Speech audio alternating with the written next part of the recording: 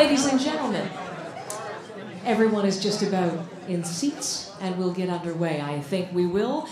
Let me say a great good evening to you. Warm good evening, ladies and gentlemen.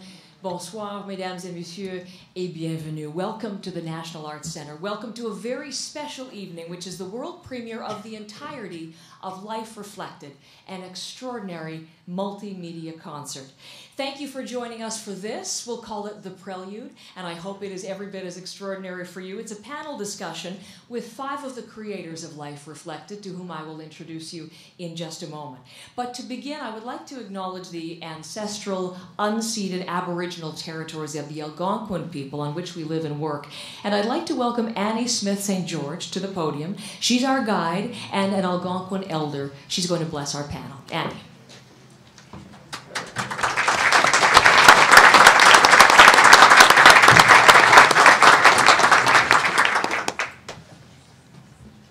Quickly, Annie Smith St. George, Kishkona Kotna de Kaz, Kitganzi Beyond Jiba. Niki Chija Mwanda Mapa, Kakenda, Ekwa Wan and Nini Wako Sunchima, Ekwa Wan Kaya. Well, my name is Annie Smith St. George, Kishkonakot. I was born and raised in Kitigan Zibi, Algonquin. Greetings, all of you who traveled from the different directions from the northeast, southwest of the territories. Welcome to the territory of the Algonquin Nation, the Anishinaabe people, my people. Bienvenue, les sont, sont voyagés pour venir ici sur le grand territoire des Algonquins, terrain de mes ancêtres. Today, I'm honored. What a beautiful evening to honor our women. In our culture, women are the carriers.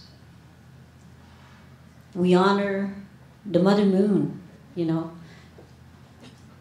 And there, why we honor the Mother Moon is because we, they're, they're, she influences a lot on our, on our being, and also the car- the carriers, and we give birth to children. So what an honor to be here. Ça me fait plaisir d'être ici ce soir, de faire la grande ouverture de cette grande soirée-là pour honorer la femme. Les femmes, nous qui portent les enfants. Quel cadeau. C'est nous qui aussi gardent la culture. Quel cadeau. We are the culture keepers. We are the keepers of our culture. I'm also here, honored to be here, to be the house elder, the resident elder of the NAC, the National the Arts Center, so that I could encourage. And what a historic moment! As I walk around and I addressed and I looked at the youth, I could see I saw you somewhere. Yes, I saw you there. You're at the NAC. You're at you're there. We have hope. Hope for our children is very important. Attawapiskat, today, as we look, as we speak today, Attawapiskat, very at risk. Our youth need this.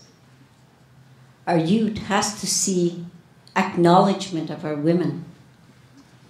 Our youth are dying. They're leaving. I lost my talk. What a beautiful moment. We are regaining our talk. We are regaining it. We're coming back. We're giving our youth empowerment. Take our powers back. We are proud to be the first people of this country. Nous sommes fiers d'être. Je suis fière d'être un Algonquin. And that's who I'm tell- what I'm telling them. I'm glad, I'm happy to be who I am. I am Algonquin, proud to be. And so our youth's got to hear that. And so I thank the the center, the National Arts Center, for inviting me with such honor and humbleness to be what, what, I represent here, to give hope for the children of Attawapiskat, to give hope to the children of Wamatashi, to give hope to, to the children that have passed on. To give hope to the missing and murdered of our young women, to get our children off the street, to get our children away from drugs and alcohol, to heal our, our children so that our young people will be strong and proud of who we were as Aboriginal people, of first people of this land. That's my mission.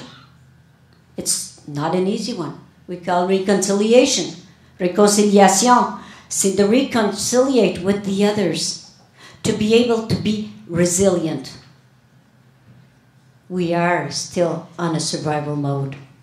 Resiliency is when you accept and you accept and you honor each other what the creators made us. Migwach chikjamanido anjenogom. Nigwajimen chikjamanido the widow ko ikwewa go sunjuma ta chikje amantagzuwek ni gwa mi a pich chik je mi gwa chon je ka kina ki gya on je ni wet ni bi ga ya on je li kwe wan ma sun e wet I thank the Creator for this beautiful evening. What a nice day. As the little animals are, mm, the little birds are going to be coming about, and that we see little, the little ducklings, the little goose that are running about. Isn't that cute? This is new time, a new beginning, a new start. As we walk, a new start here. And so, miigwech, have a nice evening this evening, and I uh, am very proud of every woman that is here, sitting here, and giving them courage. And I ask the Creator to give you courage as you come up and speak of the past and of what we lived and our hardships. And I do understand miigwech.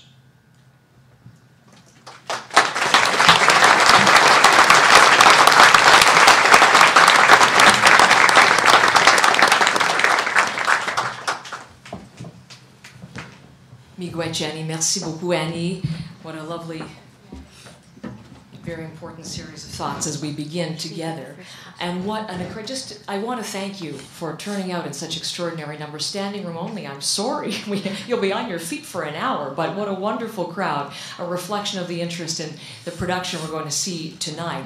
Before we proceed further, let me introduce myself. Mon nom est Heather Hiscox et je suis l'animatrice du matin de CBC News Network. I'm Heather Hiscox and I'm the morning host at CBC News Network, which means I'm the one who goes on the air at 6 a.m. I say good morning, and then for the next four hours go on to prove that there's absolutely nothing good about it whatsoever.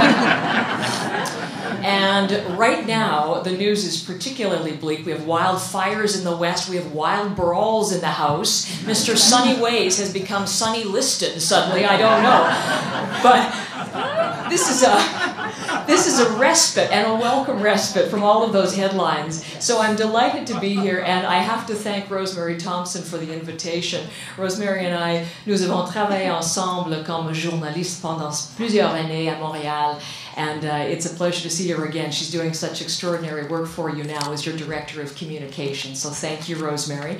I'm also delighted to see Eva Czigler here uh, because She's another former CBC colleague and mentor, and especially friend. And she and I often are each other's dates for um, dinner and culture nights in Toronto because we both live during the week in cities that are not the same cities as our husband. Because Peter, as you probably know, rather busy here doing the odd thing as your president and CEO. So uh, I'm delighted that Eva has a proper date for tonight. An evening of such significance demands someone of a different stature than I. So Eva, lovely to see you too. And I want to acknowledge a number of other guests as well. The chair of the NAC, Adrian Burns, with us. Gerda Hnatyshyn, who's the wife of the late Ray Hnatyshyn, Canada's 24th Governor General. Thank you for attending this evening. On behalf of the NAC, I would like to thank the patrons who have made this concert possible. Uh, the unfailingly generous Dasha Shenkman, the Gail Asper Family Foundation, the Right Honorable Joe Clark and Maureen McTeer, Barbara Crook and Dan Greenberg, Thomas d'Aquino and Susan Peterson d'Aquino, Susan Glass and Arni Thorsteinson, Risa Greenberg, Eli and Philip Taylor, Kenneth and Margaret Torrance, and Janice and Earl O'Born. Now, you should know that the National Arts Center Foundation has just, literally just announced a leadership gift of $1.5 million from Janice and Earl. They've been inspired by the type of important work that Life Reflected represents. So, would you please join me in extending our thanks?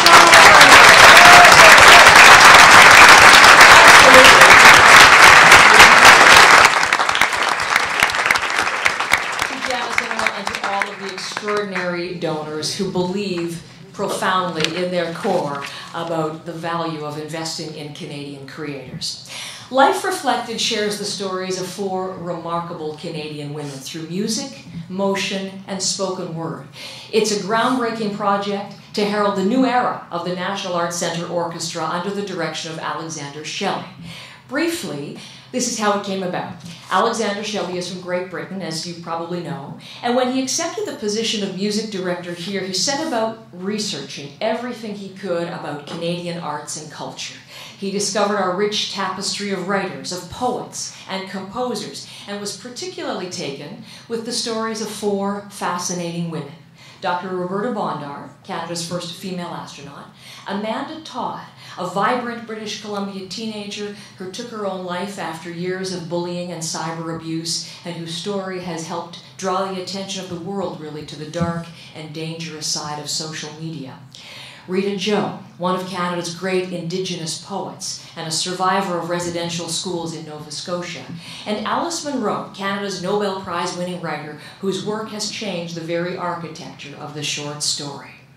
Alexander Shelley, le nouveau directeur musical de l'Orchestre du Centre national des arts, voulait créer quelque chose d'unique et de remarquable pour démarrer sa première saison au CNA.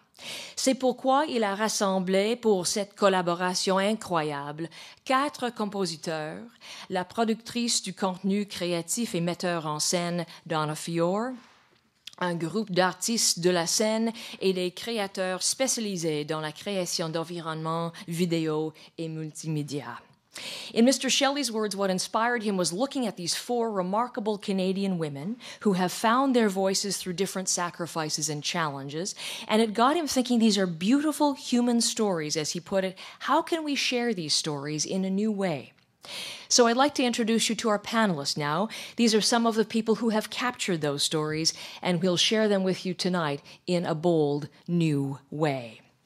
Carol Todd, the mother of Amanda Todd, the founder of the Amanda Todd Legacy Foundation. Carol is a teacher. She now travels the world teaching teens, parents, and educators about the risks of cyber abuse and bullying. Welcome to you, Carol.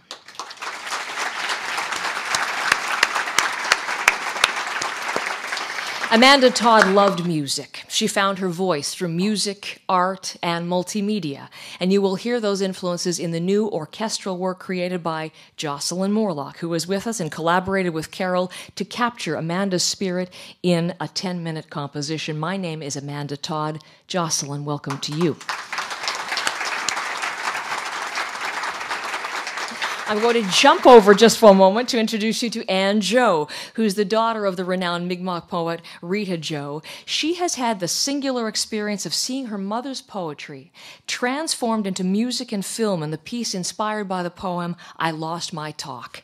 Anne Joe, ladies and gentlemen.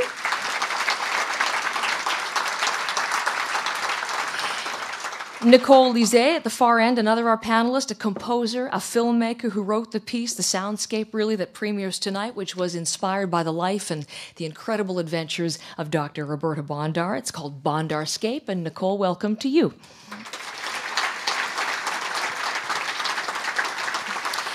And finally, in the center, Donna Feore, who is the creative producer and director of this entire project. She's perhaps best known for her work on the Stratford Festival stage. And should I do a plug for Chorus Line, which opens May the 31st, if I'm not mistaken? Sure to be a singular sensation, if you will. Uh, she is also renowned on Broadway. She is producing not only Life Reflected for tonight and directing it, but has three more works for the NAC this season as well. Uh, an extraordinary creative force in this country. And Donna, welcome to you.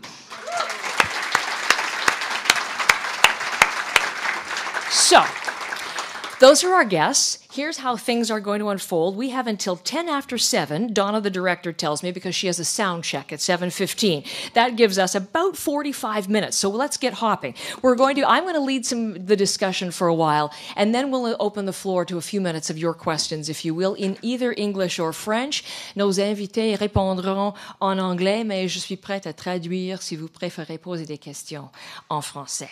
So let us begin, and let's begin with Donna, if you will, uh, my other panelists, if you don't don't mind, because I'd like Donna to give us a little bit of, a, of an overview. Number one, here we are. We're, what are we, one hour, 35 minutes from the world premiere.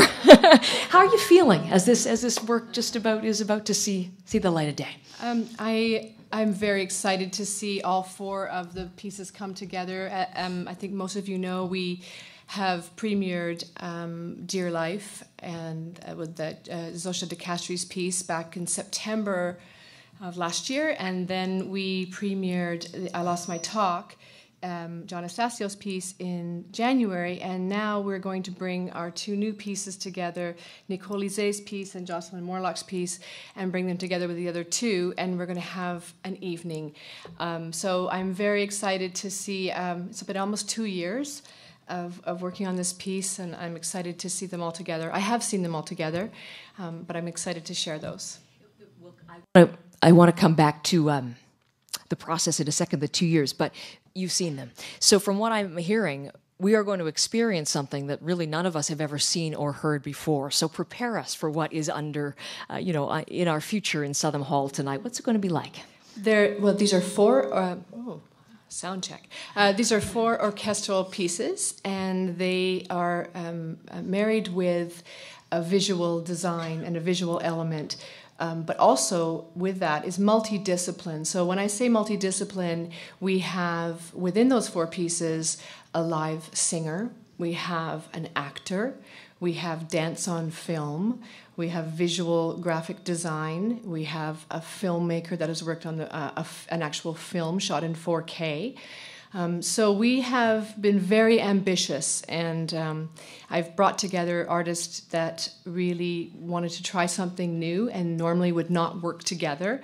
And I put them in a room together and locked the door and wouldn't let them out. And and we have collaborated on on bringing together uh, what I would say is a multidiscipline, but really truly an immersive uh, evening. So I really want the audience to feel like they're immersed in the piece. And of course, in a Pride of Place is the extraordinary orchestra, who is another uh, important, hugely important character in this piece. And um, so what's going to happen tonight is you're going to see something very new. I firmly believe that there is nowhere else that this is happening. Nobody would be crazy enough to do this other than the National Arts Center. so thanks, Peter. Um, and uh, so it, I think it's a it's a very exciting, but as I said, it's a it's an immersive multimedia. And and the other thing that's very important is that we we are supporting all the senses. So the music supports the visual, the visual supports the music, and, and the idea is that they don't battle each other, but they help um, guide each other.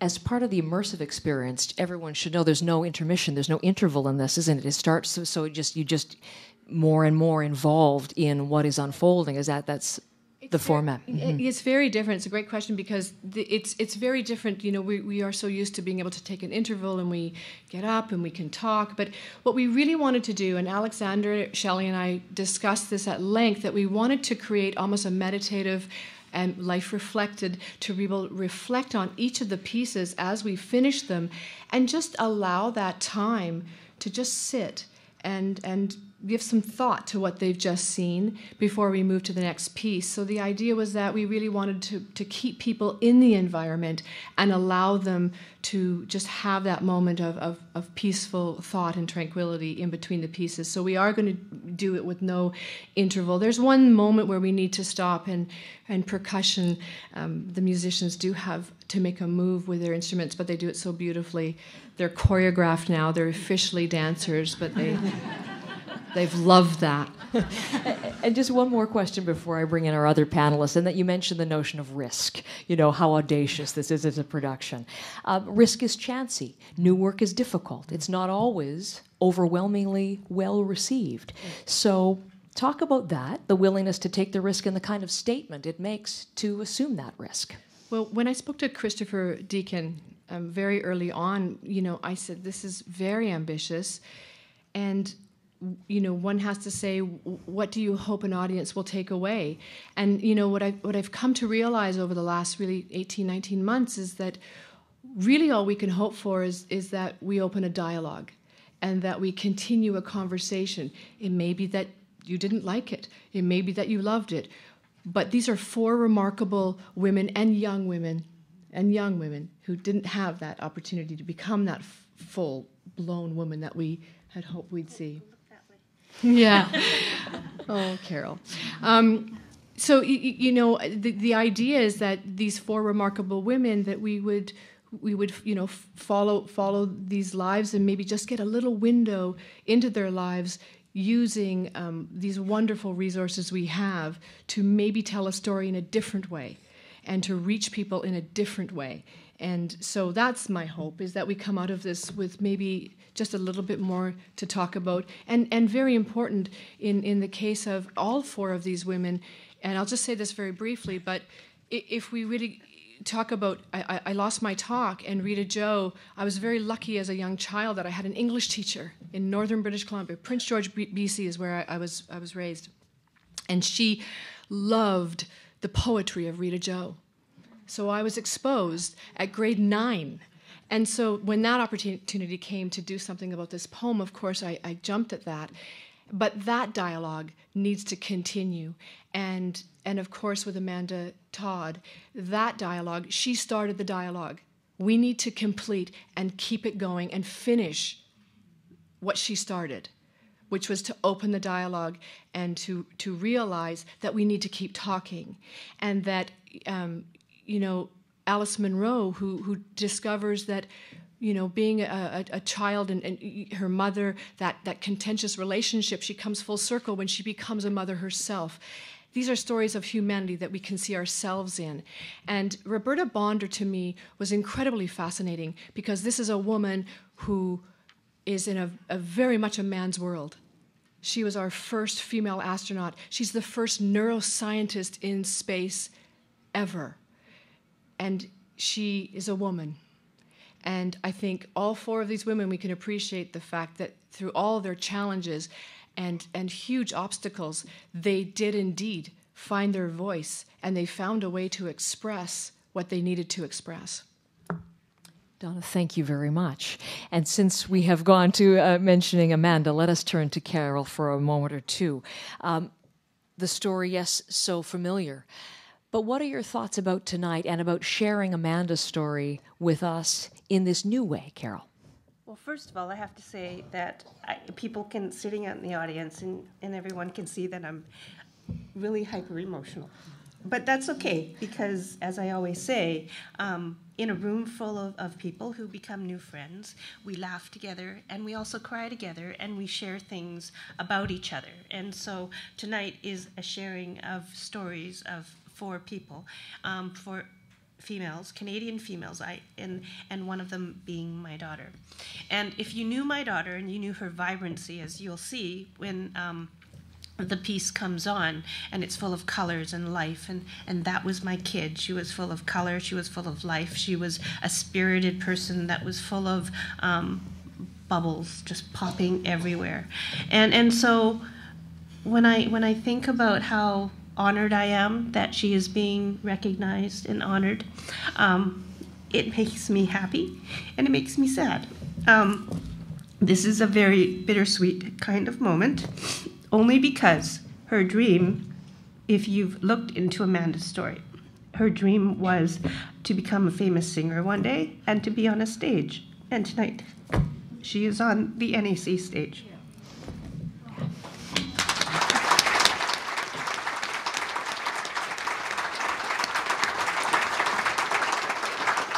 I love to hear your pride. It's beautiful.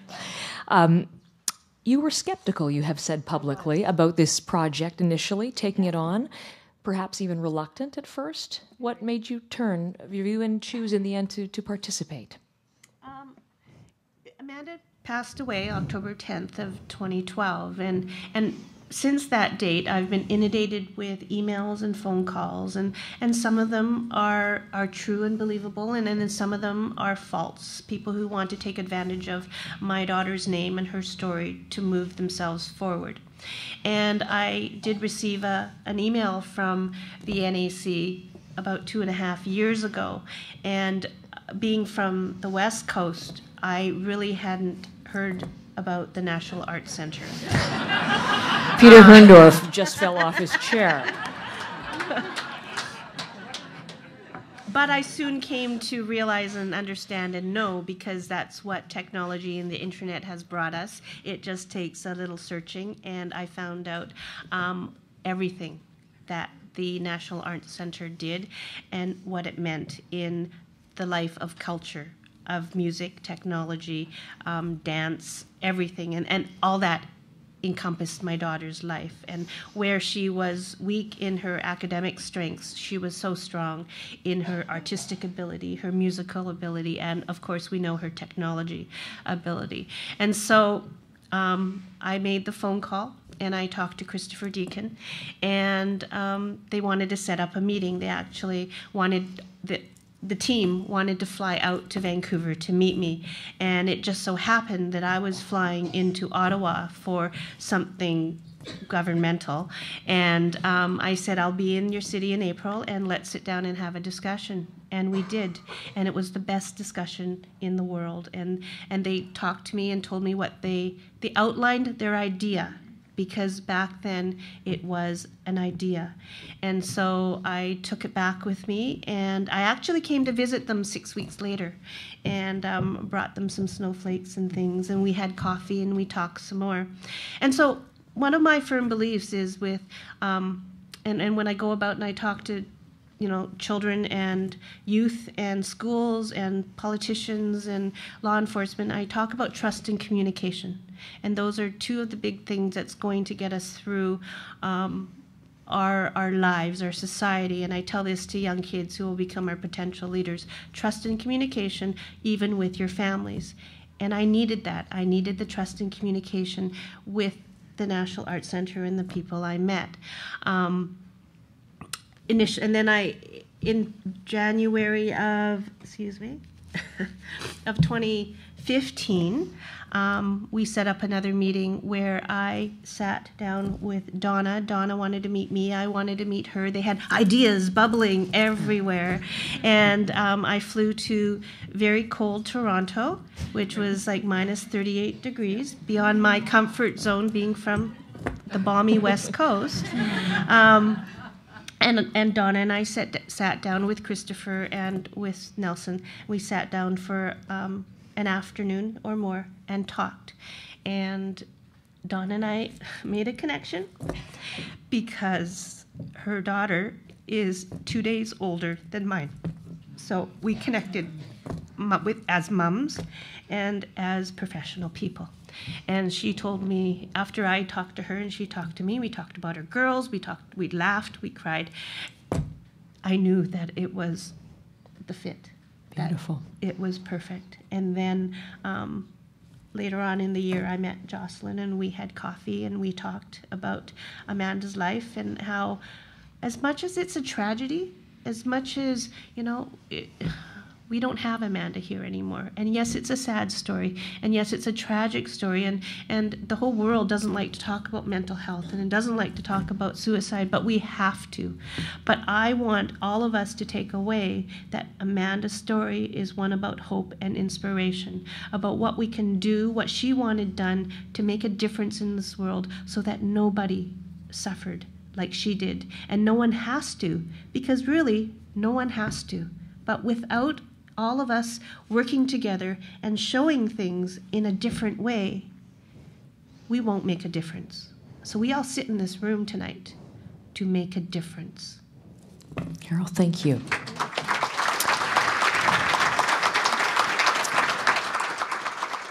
So let me bring in Jocelyn now, because I was listening to some of the things you said. The spirit of Amanda bubbles, this vibrancy, and yet the sadness of her story. As you set out to capture that story musically, how did you? Because we're going to hear tonight, it's not a requiem, is it? It's not a memorial. no. It's something very different from that. How did you reconcile both? You have to tell the whole Okay. story. Um, hmm.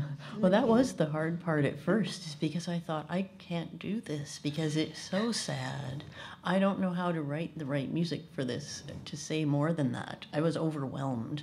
Um, I was just lucky that we could meet and talk for a long time, and then I finally got it, and I had more of a sense of what we could do and how this could be something about this woman speaking out for herself a woman, such a young age, a girl speaking out for herself, doing this incredibly brave thing in the very medium where people were attacking her left and right, and that she could speak out and do this, and that that her action, despite the outcome to herself, she was saving so many people, and there's this foundation is saving so many people, like un- untold people. Kids know about this now. Um, they have somewhere to to go when they're being bullied. They can figure out that they're being cyberbullied. Other children maybe instead of forwarding some horrible email on or some nasty thing so that this kid is getting thousands of horrible Im- images maybe maybe they won't do it. They'll stop or they'll send a positive message instead.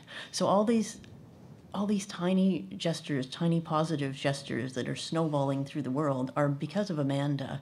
And once i once i understood that then i figured out how to write the music.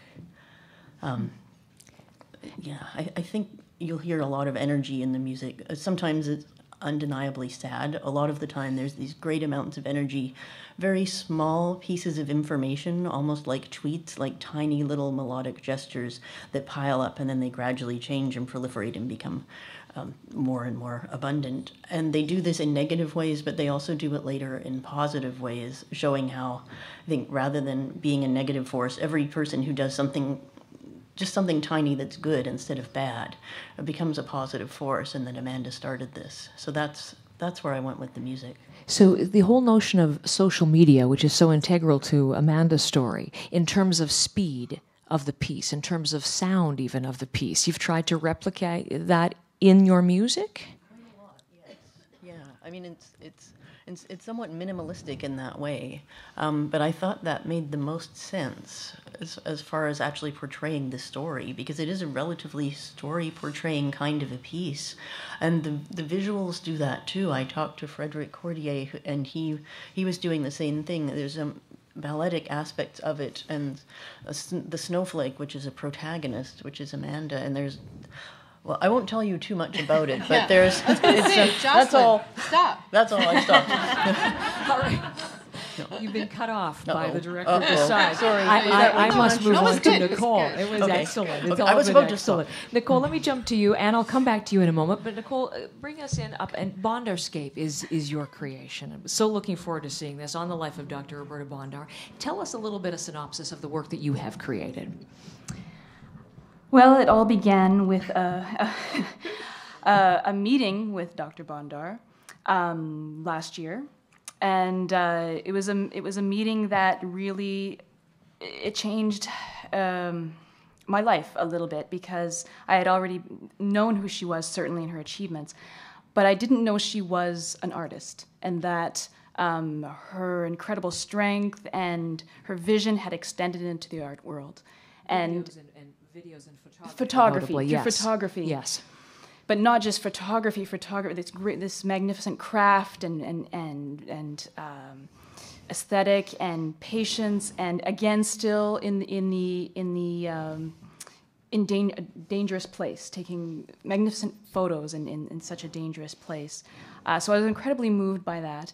After our meeting, uh, she did send me um, her all of her footage, about three and a half terabytes of footage, which is many, many, many hours. and I did. Actually, um, actually, that's not completely true because what Nicole said to Dr. Roberta Bondar at lunch across the table is, I need to get into your basement. Yeah. I did say. She did. and Dr. Bondar said, Really?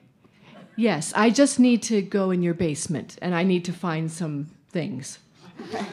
and she, and she allowed that. She she did give you So it was sent me her videos and it was basement. photos, what, the Videos, whole collection of videos, memo- beta VHS, Yeah. everything from stemming from her childhood to current, the now. And I did watch all of it and some of it many, many times. People were a little bit worried about me. Yeah, they we hadn't were- heard from me in a while. I was, We- yeah. I was very, very pale Yeah, after a few days, like no sunlight. we, Um, we were one step away from an MRI f- of her brain. You know, it was yeah. we, we stopped Nikki at that. But Yeah. yeah, yeah. But just to say that it was so unbelievably compelling. It was just I was just mesmerized and moved. And you know, it, when this when this when, when she did go into space in 1992, I was I was 19, so I wasn't I had, I was aware of her, but it didn't it the significance of what she was doing it went over my head. And not only that, just this was this is a this is a person, this is a woman who's lived a life of singular achievement. There is nobody really quite like her. And not just because of her many accomplishments that stem to all these areas, but her unwavering, unrelenting vision, strength, and courage. Uh, always danger, always in the face of danger and risk. That essentially reaffirmed my my notion that it's okay to do things that are that are challenging that may and probably will be faced with uh, some obstacles obvi- obviously and uh, you know um, and in man many of which are in a in a man's world essentially um, and so and, and, anyway I, I keep I'm, I'm talking a lot but when you, I took when you this- took that perspective, when you had this whole new perspective on Dr. Bondar, then how then did it find its way into your music? Well, after the many hours of, of, of listening and watching, th- themes and pitches and melodies and textures began to um, emerge. And ideas began to emerge. And I started sketching. I started to hear inflections in pitch in her voice when she would make her, her speeches. Um, in uh, the, the, I was sent all of the CBC footage, the, the broadcasts, and that made its way. I, I got it into. I got the notion of creating this sort of like a quasi documentary, but much more where where um, I sort of delve into the moment because I really wanted to be there. I really wanted to take this and im- immerse myself in it and make it into something, um, uh, trying to convey the emotional impact, the spiritual impact, everything that went into um, this this this woman's accomplishment. So and so I took I took excerpts of the video, I took excerpts of the the soundtrack, and simultaneously created um, a multimedia work with the with the visuals and the orchestral part all syncing in tandem with the track. So taking pitches, inflections of her voice, and creating a chorale out of it. The children, when she's welcomed back, the children in Sault Ste. Marie, where, where she's from, welcome her back, and they're lining, uh, they're, they're, they're, they're down the street, and, and everybody's cheering her on, and they're chanting Roberta, Roberta, which gave me chills because that's something that's that's generally reserved for hockey stars or rock stars and here was you know it was for roberta bondar and it was incredibly moving and this was at the end of this was about 3.2 terabytes of um, and i was just uh, I, was, I was completely moved so i took the, the children's voices and created a, a chorale that grows and it's embellished by the orchestra and, And Peter Mansbridge's voice, and Knowlton Nash's Yes. voice, and Brian Yes, well, Mulroney's voice. yes. The voices of God are also part of this as well. Are they not? I can't They wait. are. We can't wait to see that. Thank you, also- Nicole. I, I think that what Nicole has captured, you know, spending five minutes in the presence of, of Dr. Roberta Bondar, you truly believe you can do anything. I mean, you, you, we came away from that lunch thinking, well, we can do anything, right? Nicole, yeah, I could do that. She, yeah, she said we could. We can do this. and what Nicole has captured is her am- amazing hunger for, for curiosity. Ni- you know, she Nicole and and Roberta Bondar are so similar to me. They were such a perfect fit because they both had this unbelievable, relentless hunger for curiosity, and they will don't they won't stop and they won't accept uh, being being you know crushed into a place where you can't be curious and you can't explore and and why not and so i think both of those women are so similar and it's been very exciting to see what nicole has come up with but I, am blown away by by nicole's piece and her talent but how she's captured roberta bondar's incredible um, life and and and skill and and you know roberta bondar said to us at lunch when i said she said, It took me eight hours to get that photo of that cheetah. and I said, Really? How could you sit there for eight hours? Oh, she said, Oh, please, I trained eight years for eight days.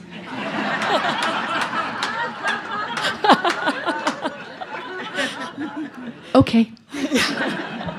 All right, Anne, we've been waiting for you as well, and Joe, of course, and the the uh, work that is based on your mother's poem, "I Lost My Talk." Now, that is something that she wrote, Rita Joe, back in 1978. Many here will be familiar with the poem, but for those who are not, tell us. Go right up to that microphone because I want to make sure we hear you well. What is it about? Number one, the poem. Um, it's about my mom and when she went to residential school and how she lost her language and she wasn't allowed to speak her her native tongue, and um, it was hard for her. Uh, she actually wrote the poem in 1987. Oh, sorry. Yeah, it was her second book, and um, yeah, it was hard for her. Not she went to school. She put herself into school. She was orphaned, and um, I try to understand that. Like, uh, she lost her mother when she was five, and then she lost her father when she was 10. And I always try to imagine what, what it must be like to go through life without a mother. And um, she didn't have a mother, so she was in like foster homes, and um, she put herself in the Shubenacadie residential school, and um, she thought it was like she thought it was going to be a positive thing. She even said that um, she said it looked like a castle. And then, but she said when she got there, she said, I felt like the castle turned to dust. And um, she put herself into school when she was um, 12 years old, and she stayed till she was 16.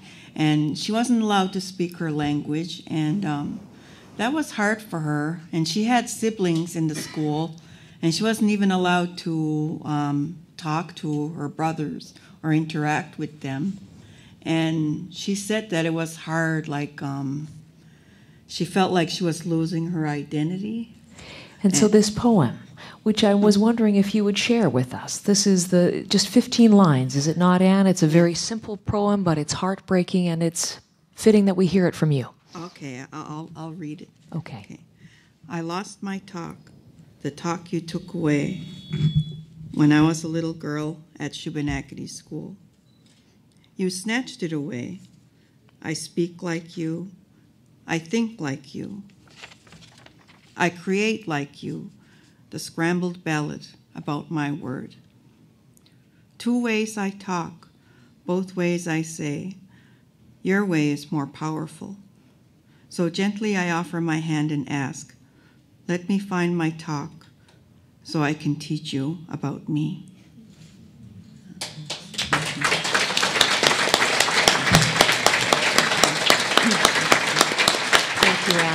I hope we have time at the end to come back to this idea of offering the hand, the, the message of hope. But I wanted to know you've grown up with those words all your life. You've heard the poetry. Now you have seen, because this work was premiered earlier in the season, you have seen this turned into a multimedia spectacle with music and film and dancers. What effect did seeing I Lost My Talk in that way have on you? Um, it was very emotional for us, um, for me and my sisters to, to see the show.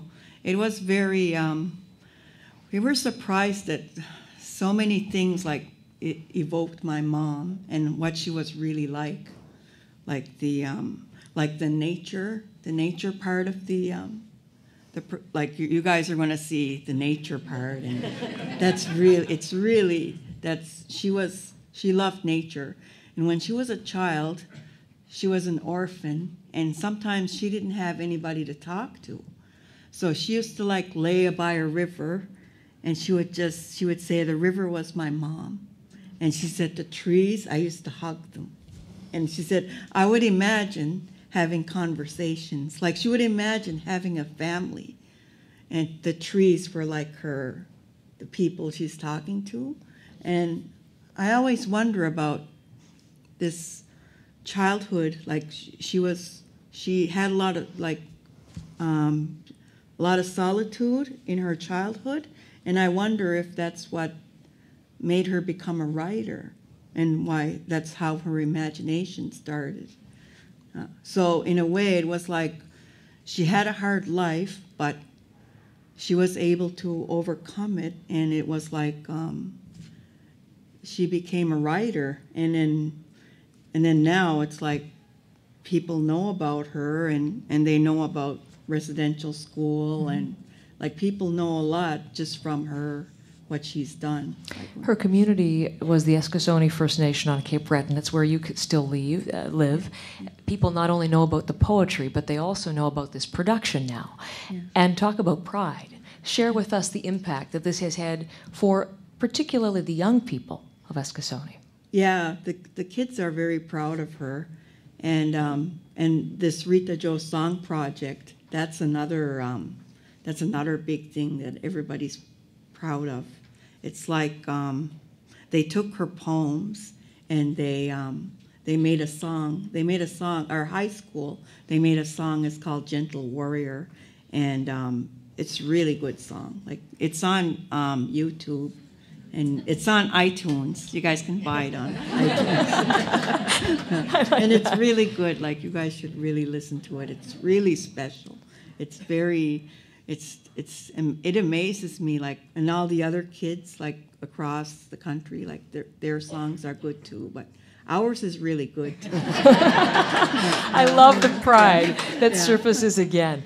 I have just countless questions. I could just keep going on, but I do want to make sure that if anyone has a question from the floor, we have a couple of microphones set up, and there are people who are actually watching us, hello, on live streaming, and, and that's why we want to make sure if you have a question, if you please would approach the microphone, and you're welcome to do so. I'm going to keep on going, though, uh, until I see someone there. We have about 10 ish minutes until we have to let Donna go. I, I want to ask Donna um, the four women how do you see them? As separate stories or as four chapters of the same story? And if it is the latter, what are the themes that connect them? Well, I think the, the, the theme is, is universal in that it's all four of these stories are about humanity and, and choices. And, and so these four pieces, as I said earlier, is really about women finding their voices and um, you, you, know, when someone said to me, Is this a Canadian story? I said, Yes, of course, sure. But it's an international story in that the themes are, are, are universal. Um, and w- when we talked about threading these together, it became so clear to me that all four of these women um, had a very strong narrative in, in their stories. And when you're doing things that have a visual element, one must have a very strong story. Ultimately, that is what we are as artists, our storytellers. And so the, the our four uh, subject matters being our four remarkable women, and in Manda's case, a very young woman, girl, um, they had a very strong story. So really, it, you know, do they have to be the same story? Absolutely not. But the general theme is where we come full circle and where we all come back to is they had something to communicate and to share. And they found different ways to do that. And one of the themes at the heart of this uh, is this notion of hope is this notion of extending a hand, reconciliation. Uh, I'm wondering if Carol, Jocelyn, maybe Anne uh, want to to speak to the theme of art for, as a form of hope, or art that leads to hope, art that brings about reconciliation. What do you think? I have two things, two thoughts going on in my head right now. And, and the first one is that I came into this not understanding how all four Canadian females were intertwined. But after sitting through the performances last night, the one word that, actually, three words that popped into my head, and one is hope, one is inspiration, and one is strength. Because all four women showed strength in different ways, um, in, in different ways that they went through some stuff. I know that, you know, Rita and Alice went through things when they were a young girl, just like Amanda's age. And we know that Amanda went through some trying times as she was growing up in her young teens. And unfortunately, the resilience, resilience and the strength were there, but they weren't there right? She didn't have the resilience to um, be able to get it to the next step, to be able to be here tonight, to, to speak her voice. So I'm speaking for her, and, and the show, the performance speaks for her too. Um, music and artistry. It, it's funny because Amanda is a story out there that we all know, and if you haven't um, had the opportunity to watch her YouTube video, which started all this. And I, I, truly believe that if Amanda hadn't made that YouTube video sharing her story with us, I would not be sitting here on this stage. I would not be with Donna or Jocelyn, and we would not be seeing her tonight as um, we will be seeing her presented. Um, it, it's so important that we intertwine not only just talking about social issues, about common issues to share and to learn about, we need to present them in different ways because in this 21st century, where we have a digital media age, where we have different ways where our attention spans are this short now, we have to have ways to present the news, communication, and subject matter the way that we are presenting tonight. And that's why um, Amanda's story has actually, you know, tonight it's being portrayed um, with orchestral and with visual arts. And her story has also been portrayed by um, the student component of the Royal Winnipeg Ballet in dance format. And it's also been portrayed in modernized music. And it's been done in plays, it's been done in so many different ways, and not just about Amanda, but about the conceptual story behind her name. And that's the concept, that's what we all need to take in and take away tonight is you watch you watch her piece and then I want you to go home and Google search and learn more about what happened to my daughter and what you and I and what we can all do sitting with our families to make sure that we make the changes that we need to. Okay. Jocelyn, I'll come to Anne in a second. You any any further thoughts in terms of your collaboration, art and healing, the relationship between the two, the effect of one on the other? Well, I, th- I mean, it's interesting. Cause it's not often something I think about, except personally, because I'll be writing about things that truly upset me, or, or someone who died, or something, and that'll become a huge topic.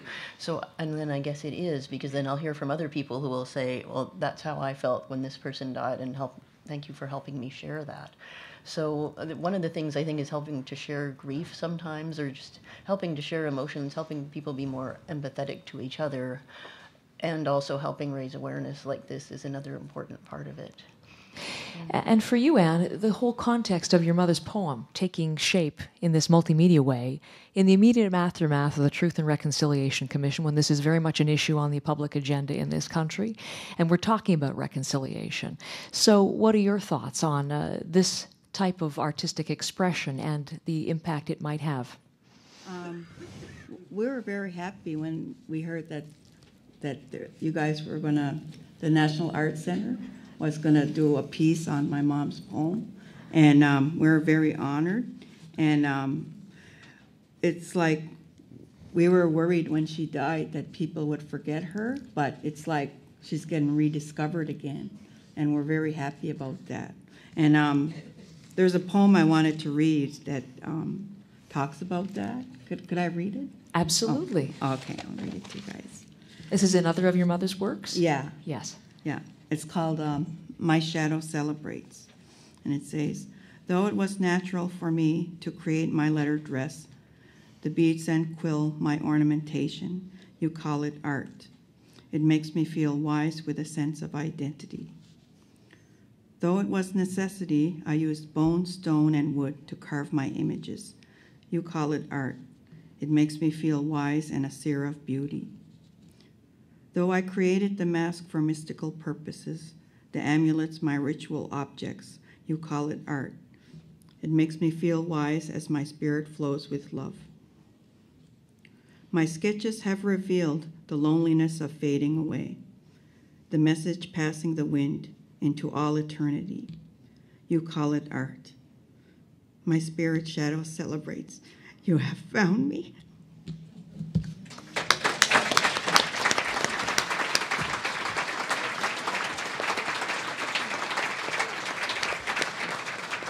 And I feel like all, Thank all you. of these women, they're all being discovered. Why did you want to share that with us in particular tonight, Anne? Um, it's just like I'm just glad that people are learning about her. Yeah. And that she's still remembered, and she has like a legacy, and and all of these people have, like they're all being remembered, and they have a life beyond what their life happened, like when they were on this earth, and they have an artistic life. Their artistic life keeps going, and I think that's important. What the National Arts Center is doing. You want to Yeah. expand on that at all, Donna? Do you want to? Well, you know, I think being in a theater together is is a communal experience like no other, and you know, to have the opportunity to to tell these stories through music and and motion and and word, it's an experience that is is you know it's so special and so unique, um, and it's it's difficult sometimes, but also incredibly um, uplifting. And for me, I mean, it's been life changing for me. There's no question to not only have been able to work with these these four incredible uh, females and their stories, but also uh, in turn then their families, and to understand all four of those women even more. Um, I mean, it's been incredible for me, and I I don't know if I'll if I'll ever do it again. I don't know. It's just uh, it's just been great. Nicole, I want to ask you about something completely different, and that is the notion of, uh, of demographics. Um, Alexander Shelley was quite clear in this. He's spoken publicly about how important new music is for audiences, his desire to have works like this be a bit of a doorway or a gateway to people coming in and discovering music in this way. So, as a young composer, um, the fact that this is going to be an exciting new media, that kind of uh, that kind of a thing, a different kind of an evening, how important is that to people's discovering music, or do you hope it will be to their discovery of music?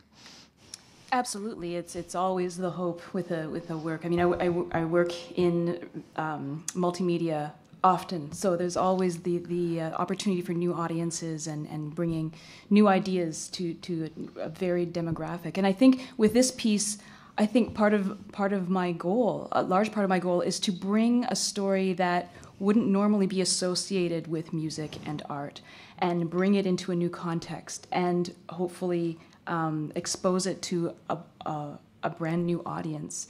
And and young people um, who can see the, and, and and see what this remarkable woman has accomplished and perhaps you know and and perhaps see that uh, it's okay to go out there and, and be an astronaut for young women be an astronaut be a photographer be a filmmaker go against what's expected. So i think ultimately um, I'm, I'm pleased to have the opportunity to bring something in a, and bring it into a, a new context that wouldn't be What is your desire that at the end of tonight we leave with message, hope, impression? all all these hope yes um, um, strength in, in the in the face of adversity um, you know there aren't there, there, gender roles the abolishment abolishment of gender roles um, uh, it's okay to to to be different. Um, there's it shouldn't be any forced expectations on you, and, and things are difficult. Things that are that are worthwhile are tremendously difficult, and um, and that's okay to to um, to seek these things. Yes, question from the floor.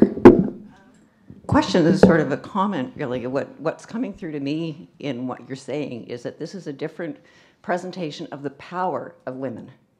Power to, not power over. And I wonder if that was part of the discussions because um, there's still a lot of tension, uh, male female relations. I see a lot of it online. I look at online discussions, there's a lot of pushback. But whether it, I mean, it sounds to me as if this was a very powerful experience for all of you but was that associated with a new representation of the power of women? Donna, would you like to, or anyone else want to, to jump in? I think just the, the, the stories alone, uh, being able to put them up in this kind of forum, um, again, I, I, say it's a window into who these women are, and in turn, we see how powerful they are and how powerful their messages are. Um, I think it's a it's a really great point you make. Uh, power is an interesting word. Um, it, it's it, it's it's power that that these women just are put out, and we take away what we will, and you can't help but see um, how much influence um, their stories have on all of our lives. So power, yes, for sure. Yes, ma'am. Uh, so my so that my experience tonight, I'm fully prepared for this. Could you talk a little bit about Alice Munro's presentation? Oh, I was going to surprise you with that. I would Don. You want to just uh, over give an overview of what we have seen? This is one of the works that has been already received its premiere. Um, so Alice Munro wrote a short story called Dear Life, which is ten thousand words, and uh, what I chose to do with that story was to distill it down to about 500 words. And so we um, enlisted the help of Marilyn Simons, who is an amazing writer and a good friend of Alice Munro, knows her work very well. And she, again, Mission Impossible, she took that story, 13 drafts we worked on to get that down to that many words, about five or 600 words. And then I brought Martha Henry on board to voice um, Alice Munro. Alice Munro has never fully admitted that this is autobiographical, but we know it is. So. and Martha Henry said, No, no, I can't do this. Get Alice Munro to do it. And Alice Munro said, No, no, I can't do this. Get Martha Henry to do it. so Martha Henry did it. And, and then, um, you know, I, I had to really consider what would we do for the visual aspect of this. And I looked up in my living room one day, and that's, I, you know, I conceived each piece differently. And I looked at a photo I had of Larry Towell's photography. And Larry Towell is probably one of the most important photojournalists in North America, if not the world. And, um, and he's, you know, proudly a Canadian.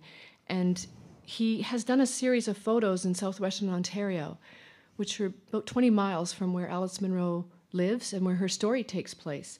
And I thought, it's black and white photography. So I called Larry and asked for 75 photos, and he gave them to me. So, um, and then so that aspect, and then of course we had Erin Wall, the beautiful opera singer who. Um, who who voices uh, the piece, and and of course Zosha Di Castri creating an incredibly beautiful piece of a new work, very difficult but very sophisticated and very interesting music.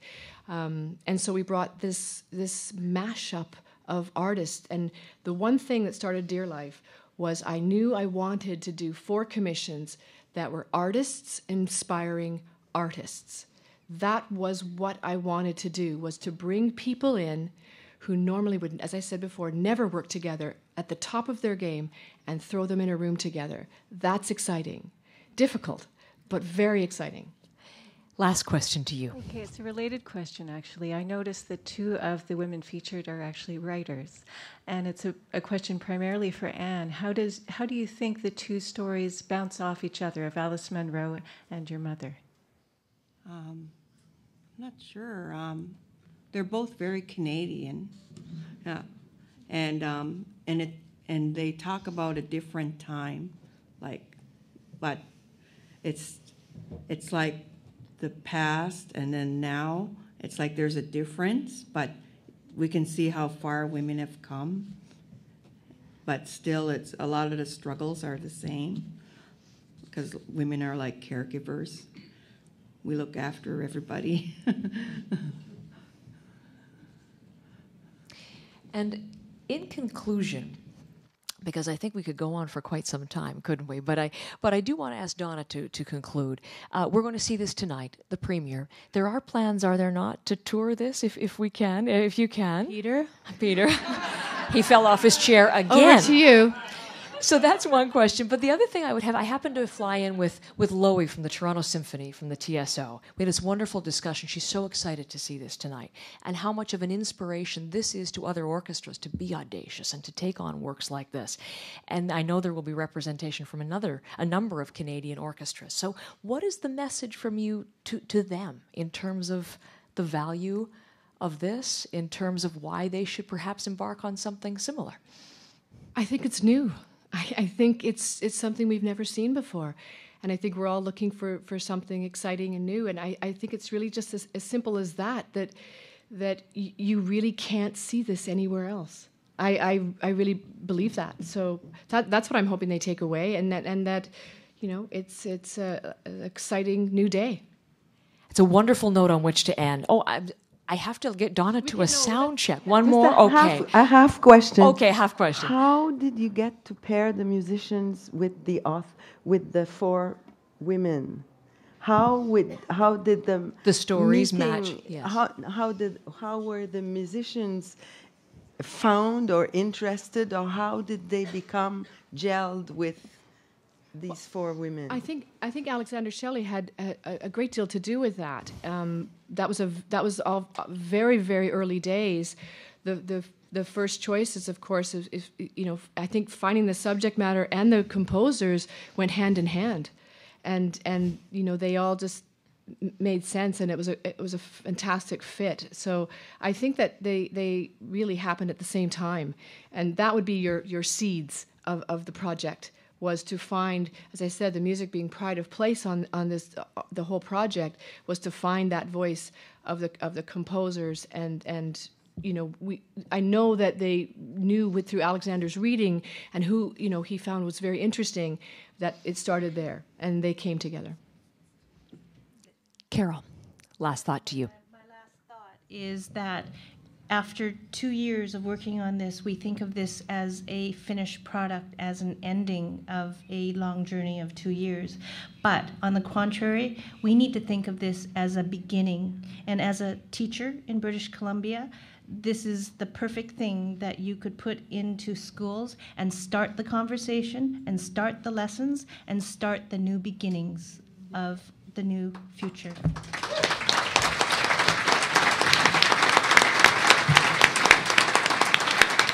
We're already applauding, but could we just keep this rolling on just for once more, or just for a moment or two more, as we acknowledge our extraordinary panelists, Carol and Jocelyn and Donna and Anne and Nicole. Thank you so much to all five of you, remarkable women.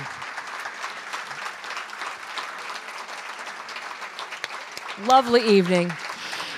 This is the end of this part. Just bear with me for one moment, Donna. There are some people that we would like to acknowledge, and those are number one, the National Arts Centre, first and foremost, for their work in bringing the lives of these four Canadian women to the stage in this way tonight. Uh, merci au Centre National des Arts d'avoir rendu possible cette magnifique soirée. We are especially grateful to the President and CEO, Peter Herrndorf, for his extraordinary leadership of this treasured institution. Alexander Shelley, the musicians of the NAC Orchestra, the production team led by Donna Dasha Shenkman for believing so firmly in this project. Bravo and thank you to you. What a delightful evening. I hope it was for you. It certainly was for me up here in the stage. So thank you so much for sharing in it. And now we get to show. Oh, Donna, yes.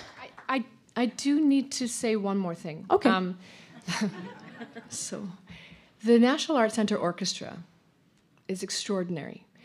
Um, we all know how beautifully they play, and they're incredibly talented musicians. But what you may not really know is the environment we have immersed them in is very, very difficult. It, in order to get what you'll see three dimensional images, it's a front, what we call front projector ma- not many orchestras could do that. So I have to acknowledge not just that they're fantastic, extraordinary musicians, but they really are collaborative artists. And that is rare in the world, and that's why we need to get this everywhere. That's why.